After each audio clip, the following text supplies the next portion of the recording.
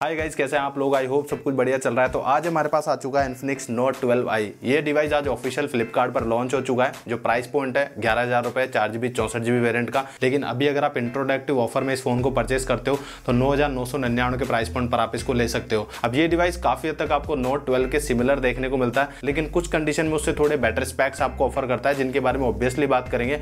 अभी मैं इस डिवाइस को पिछले चार पाँच दिन से कंटिन्यूसली यूज़ कर रहा हूँ। काफ़ी अच्छे से मैंने इसको टेस्ट कर लिया है। तो आज इस वीडियो में बहुत ही सिंपल वे में बात करेंगे कि ये फ़ोन आपको लेना चाहिए या फिर नहीं लेना चाहिए। साथ ही साथ आप लोगों के लिए एक छोटा सा सरप्राइज़ भी है तो वीडियो के अंदर लास्ट तक बने रहना।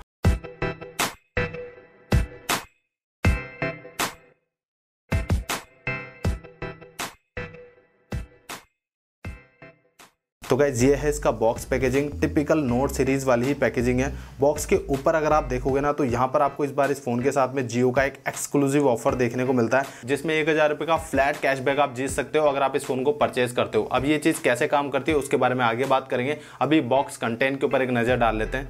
तो सबसे पहले बॉक्स में आपको देखने को मिलेगा मेन डिवाइस इसके अलावा थर्टी थ्री वोट का एक चार्जर टाइप सी पोर्ट वाला चार्जिंग केबल इसके अलावा सिम इजेक्टर टूल कुछ पेपर वर्क और लास्ट में एक silicone TPU case all right तो अनबॉक्सिंग हो गया। अब सीधे मेन डिवाइस के ऊपर आ जाते हैं, जहाँ सबसे पहले अगर मैं बात करूँ उसके बिल्ड और डिज़ाइन की तो जैसा कि मैंने बताया कि फ़ोन का जो डिज़ाइन है वो आपको एक्जैक्ट वैसा ही देखने को मिलेगा जैसा नोट ट्वेल्व के साथ में देखने को मिला था। फ़ोन कंप्लीट प्लास्टिक बिल्ड में आपको देखने को मिलेगा। पीछे की तरफ़ फ्रॉस्टी बैक है काइंड ऑफ़ मैट फिनिश है। और ये जो कैमरा के आसपास वाला पार्ट है, ये ग्लॉसी है। फ़ोन वही फ्लैट एजेस के साथ में आपको देखने को मिलता है। तो बिल्ड क्वालिटी तो काफ़ी अच्छी है। अब देखो ये जो कैमरा वाला पार्ट है ना, यहाँ कैमरा बम थोड़ा सा बाहर होने की वजह से आपको स्क्रैचेस वगैरह देखने को मिल सकते हैं। तो ऐसे के अंदर मैं आपको सजेस्ट करूँगा कि सेफ़ एंड साइड आप यहाँ पर सिलिकन टीपीयू केस यूज़ करें, जो आपको आउट ऑफ़ द बॉक्स यहाँ पर देखने को मिल जाता है। बाकी अगर मैं बात करूँ इस डिवाइस के इन एंड फील की तो डिवाइस 188 ग्राम के करीब है और 7.8 एम की थिकनेस के साथ में आता है। सो यूज़ करने में काफ़ी कंफर्टेबल है और 5000 हज़ार की बैटरी होने के बावजूद डिवाइस का जो वेट मैनेजमेंट है, जो थिकनेस वगैरह है, वो इन्होंने काफ़ी अच्छे से किया है। फ़िज़िकल ओवरव्यू की बात करें तो बॉटम साइड में थ्री ऑडियो जैक है, इसके अलावा प्राइमरी माइक चार्जिंग के लिए टाइप सी पोर्ट, वही राइट हैंड साइड में आपको पावर बटन और वॉल्यूम रोकर बटन देखने को मिलेंगे। टॉप एकदम खाली है और राइट हैंड साइड की मैं बात करूँ तो सिम कार्ड ट्रे का ऑप्शन है, जहाँ पर आपको डेडिकेटेड माइक्रो एस कार्ड का सपोर्ट देखने को मिलता है। मतलब दो सिम कार्ड के साथ में आप यहाँ पर एक मेमोरी कार्ड यूज़ कर सकते हो। अब ये चार जीबी चौसठ जीबी वेरियंट है तो जो भी बेस वेरियंट परचेज करेगा, उसको स्टोरेज को अगर एक्सपेंड करना है तो आप मेमोरी कार्ड के थ्रू एक्सपेंड कर सकते हो up to five twelve GB अब बात करते हैं फ्रंट साइड की तो डिस्प्ले में यहाँ पर आपको सिक्स पॉइंट सेवन इंचेस का एक फुल एचडी प्लस डिस्प्ले देखने को मिलता है, जो कि एक एमोलेड पैनल है। अभी एक ड्रॉप नॉच डिस्प्ले जो कि देखा जाए तो आउटडेटेड हो चुका है। बट यहाँ पे एमोलेड पैनल है, साथ ही साथ जिस प्राइस पॉइंट पर ये आता है, हम इसको कंसिडर कर सकते हैं, क्योंकि अभी के टाइम अगर आप देखोगे ना तो कुछ ऐसे ब्रांड भी है जो पंद्रह से सोलह हज़ार के प्राइस सेगमेंट के अंदर आपको एक T F T LCD display offer करते हैं। वो भी ड्रॉप नॉच डिस्प्ले के साथ तो कम से कम ये तो उनसे फार बेटर है। बाकी डिस्प्ले के अंदर बेजल्स काफ़ी अच्छे हैं व्यूइंग एंगल्स भी पॉइंट टू पॉइंट है। डिस्प्ले क्वालिटी की अगर मैं बात करूँ तो हल्का सा सेचुरेटेड कलर आपको देखने को मिलते हैं। बट डिस्प्ले वगैरह में जो डिटेल्स वगैरह है, वो आपको काफ़ी अच्छी देखने को मिल जाती है। साथ ही साथ ये डिस्प्ले काफ़ी ब्राइट भी है, क्योंकि ये जो डिस्प्ले है थाउज़ेंड नेट का पीक ब्राइटनेस भी सपोर्ट करता है। तो इंडोर हो या फिर आउटडोर विजिबिलिटी आपको काफ़ी अच्छी देखने को मिल जाएगी। अब साउंड क्वालिटी की अगर बात करें तो फ़ोन में आपको डुअल स्टीरियो स्पीकर देखने को मिलते हैं। मतलब इस प्राइस बजट में आपको डुअल स्टीरियो स्पीकर देखने को मिल रहे हैं, जो कि काफ़ी सही है। डिसेंट क्वालिटी का साउंड आपको इनके साथ में देखने को मिलेगा। लाइक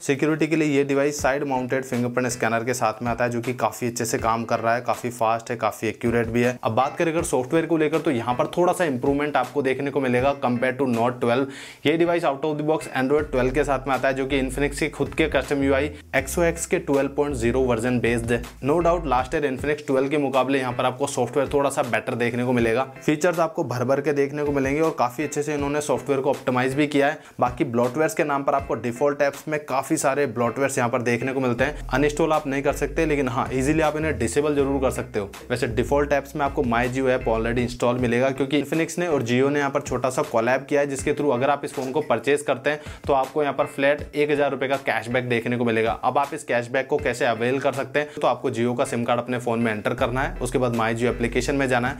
प्रोफ़ाइल ऑप्शन में जाकर आपको वहाँ पर ऑफ़र को एक्सेप्ट करना है, उसके बाद में वहाँ पर अपनी जो यूपीआई पेमेंट डिटेल है, वो एंटर करनी है। जैसे ही आप ये प्रोसेस पूरा करोगे, आपके अकाउंट में आपको कैशबैक रिसीव हो जाएगा।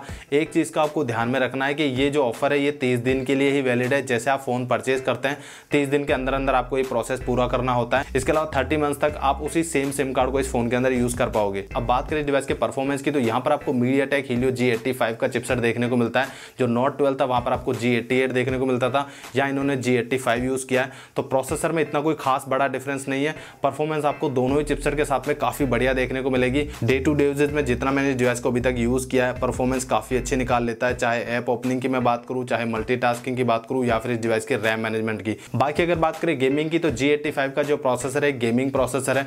गेमिंग भी आप इस फ़ोन के साथ में अच्छी खासी कर सकते हो। लाइक यहाँ पर बीजीएमआई की मैं बात करूँ तो फोर्टी एपीएस तक का जो गेम प्ले है, उसका ऑप्शन आपको देखने को मिलता है। बाकी अगर आप जायरो प्लेयर हो तो फ़ोन का जो जायरोस्कोप है, वो इतना अच्छे से ऑप्टिमाइज नहीं है तो आपको वहाँ थोड़ी सी दिक्कत हो सकती है।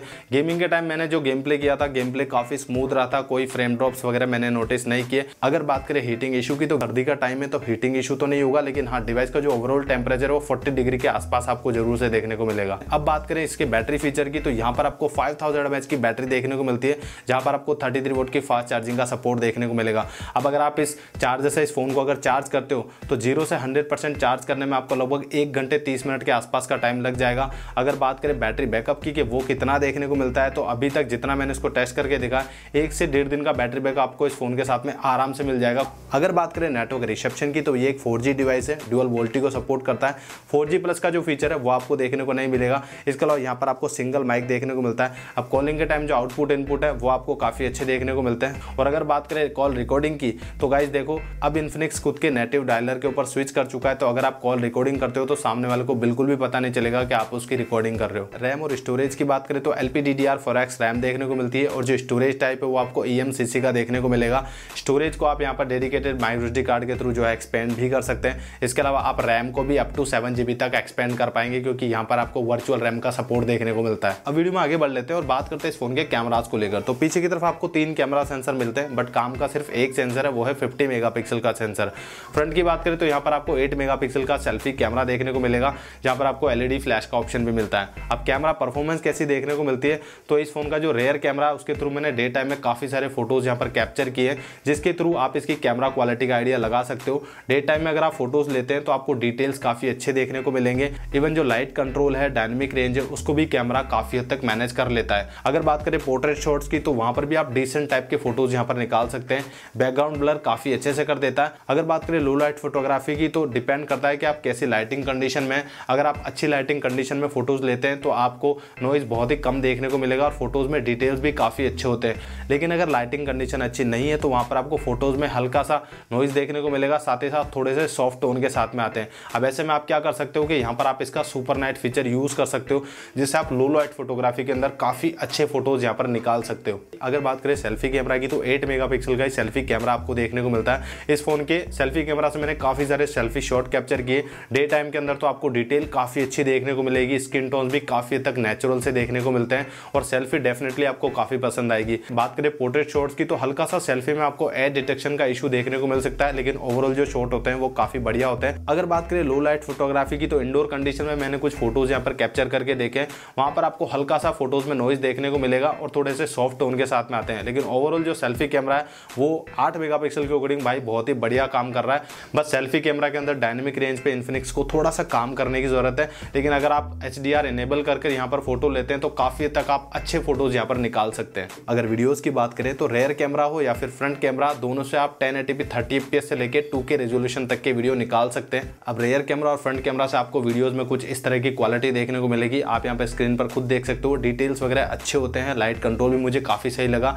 ई e का सपोर्ट आपको दोनों ही कैमरा के अंदर देखने को नहीं मिलता। आप सबसे लास्ट में फाइनल वर्डे की बात कर लेते हैं कि फ़ोन आपको लेना चाहिए फिर नहीं लेना चाहिए। तो गैस देखो, अगर आप मल्टीमीडिया कंजप्शन थोड़ा ज़्यादा करते हो और बजट आपका दस से ग्यारह के आसपास है तो ऐसे के अंदर ये काफ़ी अच्छा ऑप्शन है, क्योंकि यहाँ पर आपको एक full H D plus AMOLED panel देखने को मिलता है। इसके अलावा प्रोसेसर भी आपको काफ़ी बढ़िया देखने को मिल रहा है। हीलियो का जी एट्टी फाइव साथ ही साथ यहाँ पर आपको फाइव थाउज़ेंड एम एच की बड़ी बैटरी देखने को मिल रही है और जो फास्ट चार्जिंग का सपोर्ट है, वो भी आपको देखने को मिल रहा है।